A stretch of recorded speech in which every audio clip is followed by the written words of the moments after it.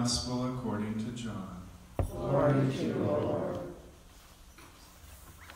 Jesus said to the Pharisees, I am going away, and you will look for me, but you will die in your sin. Where I am going, you cannot come. So the Jews said, He is not going to kill himself, is he?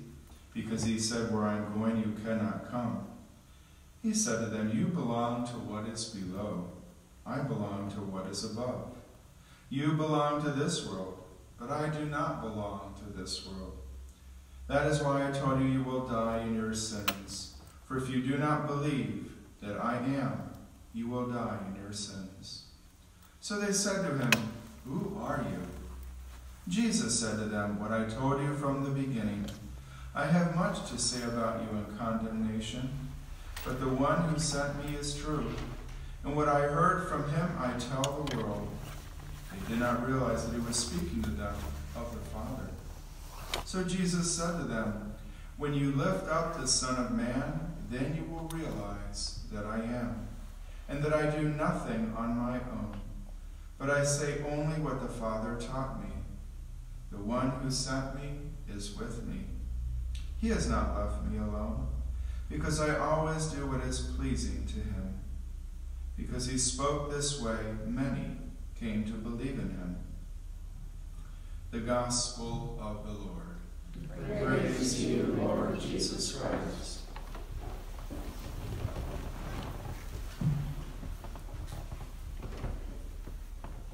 This uh, memorable scene in the first reading of the complaining Israelites is certainly much more understandable if one visits uh, the Holy Land and sees the, the desert that they're going through and really just the general terrain that they were traversing.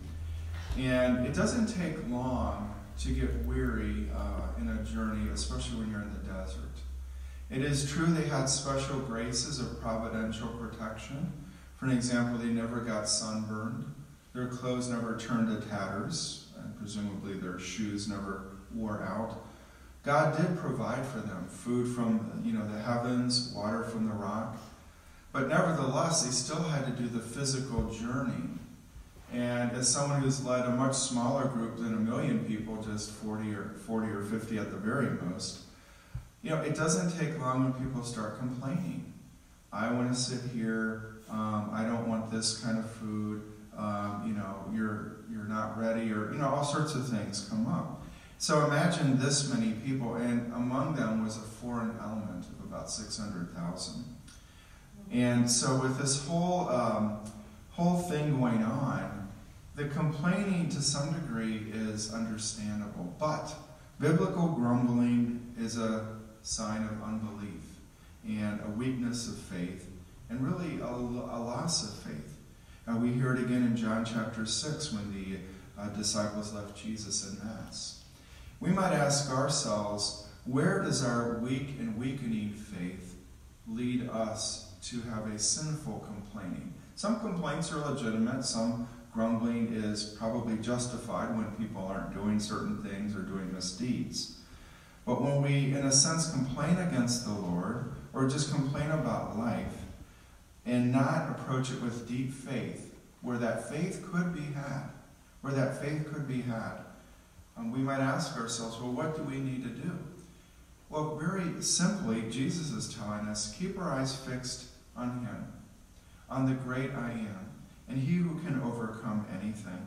Perhaps you've uh, heard about this new movie released or being released. I don't know if it's been released yet, called Breakthrough, of a young uh, man, actually two guys, fell through um, some ice, uh, an icy water body, and uh, two of them were submerged. One was able to save himself, and he was literally dead for an hour.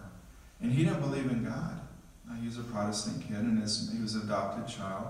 But his mom was a believer, and she and she prayed fervently, and other pastors and uh, Christians, I don't know quite all the details, but his pastor was there being interviewed.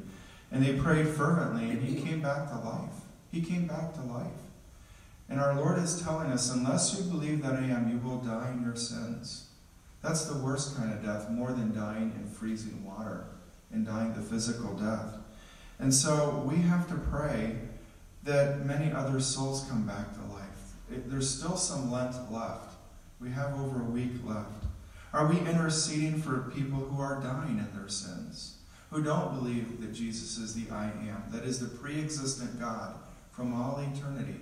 Remember, in the beginning was the Word, and the Word was with God, and the Word was God. The Word is Jesus, the Son.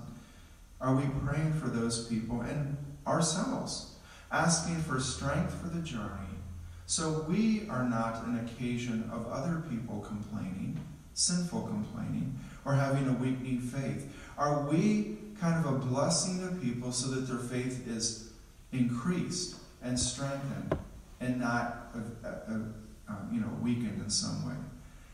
I think we have to do that because we all have our deserts to cross. We all have either periods of time or certain days where we just feel spiritually wearied and we want to complain. But that doesn't mean we have to complain. That's a choice. So, Jesus, who always does what is pleasing to the Father, speaks words of eternal life for us today. What will we do?